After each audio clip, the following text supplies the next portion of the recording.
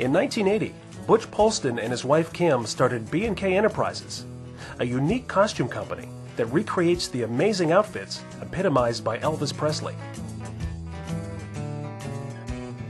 Over the years, they developed a working relationship and heartfelt friendship with Elvis's original designers, Bill Belew and Gene Doucette. This is their story. I never believed it would be a business for probably the first 10 years of making costumes.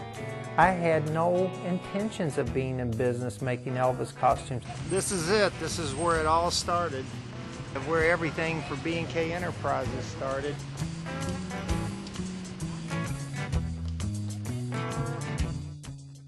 And then it just kind of took off like wildfire.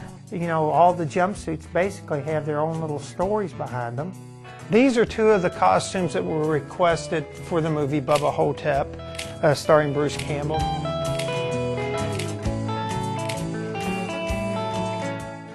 Part of the reason why that I was drawn to do these things because they are walking pieces of art.